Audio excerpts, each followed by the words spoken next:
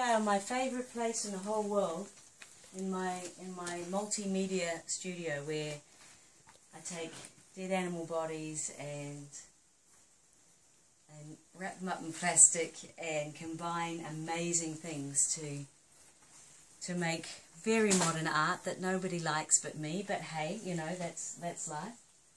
Yeah. So this is us in a very small part of my major chaos.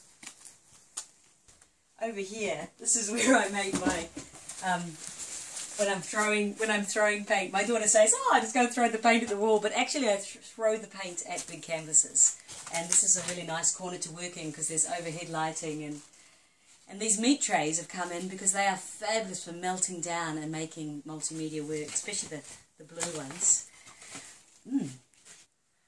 And so this area here is my storage area. And so in here there's work from when I was um, a girl at art school. So there's thousands of pieces of work in here.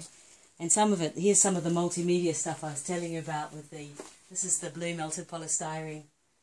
And um, bits that are, this is called Modern Children. These are the well, really the state, there's a child here and a child here, and the state of the world.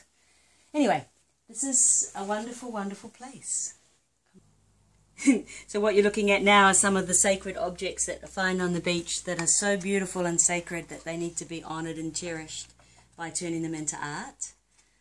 And over here is my morgue with my seagulls and rats and pukekos and little sand shark and this is a piece called 36 Blind Mice. And it's got 36 mice on it from the studio, and that is one of my um, one of my multimedia works. So yeah, it's a very messy at the moment. I haven't worked up here for a little while, for about a, a year actually. I've been in my other studio, but this is the very best place in the whole world.